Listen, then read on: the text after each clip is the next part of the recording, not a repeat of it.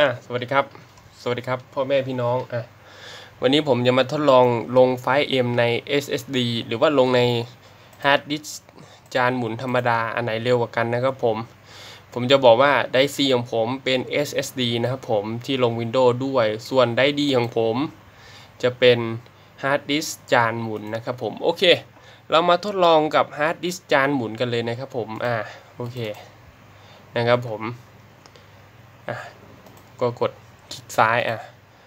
กดเปิดไฟล์ M ธรรมดาเลยครับอ่าเดี๋ยวผมขอรีเซ็ตเวลาแป๊บหนึ่งนะครับอ่ามันจะขึ้น firewall ตรงนี้นะ ไม่ต้องตกใจนะกด allow นะครับผมโอเคอ่านี่จะเป็นเซิร์ฟที่ผมจะทดลองนะครับอ่าเดี๋ยวผมขอกด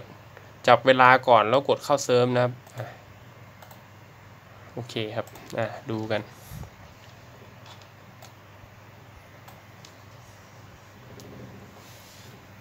ก็ลองให้ดูจะๆนะครับอ่ามีเบอร์นิดหน่อยผมขออภัยนะครับ กล้องกล้องจากโทรศัพท์นะ ราคาถูกนะครับผม เป็นยังยังเป็นซัมซุงอยู่เลย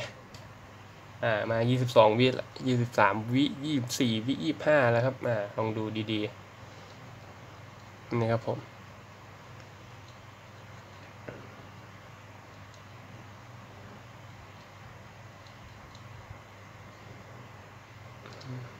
สี่สิบวิแล้วครับ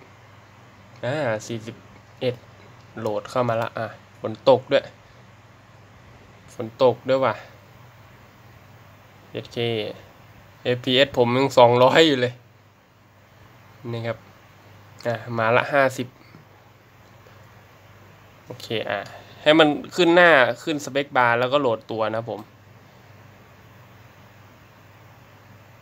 อ่า โอเคหนึ่งนาที 7 วินะครับผม อันนี้เป็นในฮาร์ดดิสก์จานหมุนของผมนะครับ อ่าโอเค เดี๋ยวผมจะทดลองใน SSD แล้วกันนะครับผม อ่า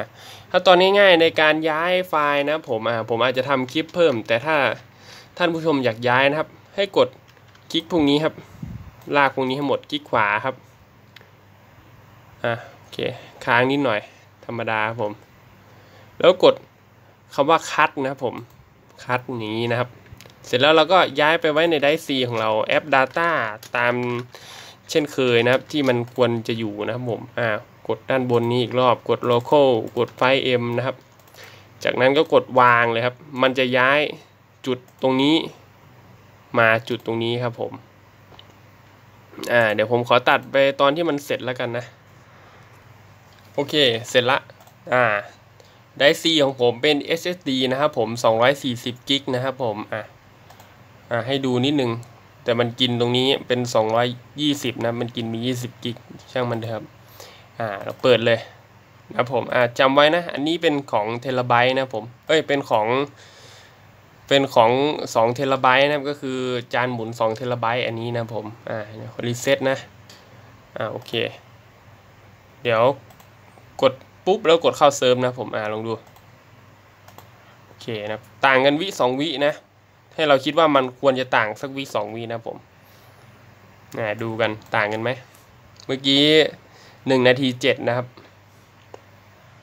มาละ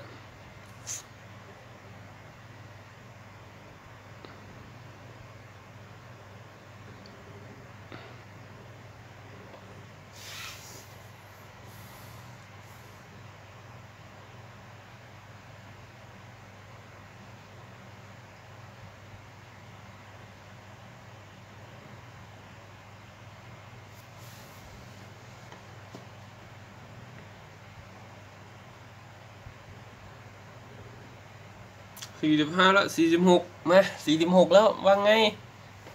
ว่างไงครับว่างไง เร็วกว่าไหมเฮ้ยมาว่ะห้าสิบห้ามันถึงที่แล้วเฮ้ยเร็วขึ้นเว้อ่าดูครับเฮ้ยโหลดแมปเดี๋ยวดิโอ้โห ไม่ต่างกันมากครับ ต่างกันสามสี่วิเท่านั้นครับ อ่าโอเค นะครับง่ายๆ ก็คลิปนี้ก็มีแค่นี้ครับมาทดลองให้ดูนะผมว่ามันมีข้อแตกต่างไม่เห็นถามมากันเยอะนะครับผม ก็